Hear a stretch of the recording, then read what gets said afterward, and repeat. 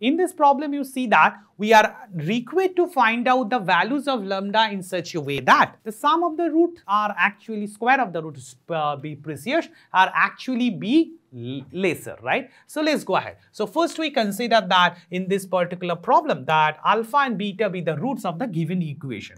So alpha comma beta be the roots of the given quadratic equation. Now see that in this given quadratic equation, it's not in the form of uh, ax square plus bx plus c. So let's write down in that form. So therefore it's 2 minus lambda. Now we need to apply the sum of the roots and product of the roots. So therefore alpha plus beta is definitely equal to minus 3 minus lambda and the product of the roots alpha beta is actually 2 minus lambda which is very straightforward. Now, let's go ahead and see that what is the value of the square, right? So, that means alpha square plus beta square.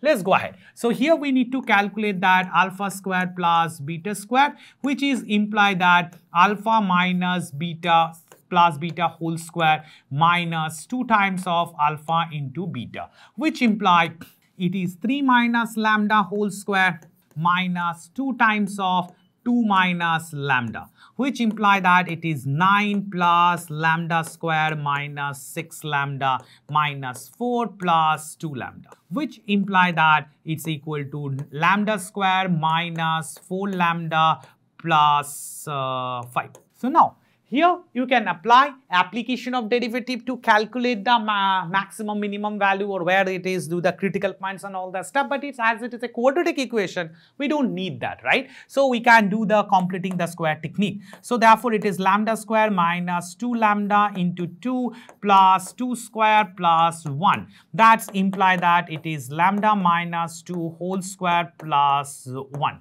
That's it. Now see that it is something square plus 1. So when alpha square by beta square, the sum will be minimum. So we'll see that, that alpha square plus beta square is minimum or the least while lambda equal to 2. That's obvious, right? Because if lambda equal to 2, then this value is 0, a lambda minus 2 whole square, this particular value will be uh, removed and then we'll find the solution is 1. So here for this problem, obviously you see that, that lambda is equal to 2. So therefore, when lambda equal to 2, you will find that, that our case, that value is minimum. But in this case, it asks that find the value of lambda. For the value of lambda, the squares of the roots is minimum and we have to value that. So therefore, in this particular case, option D is the correct answer. Hope you understood the problem. Okay. So now uh, you can follow the same techniques and solve any problems with the sum of the roots and application of the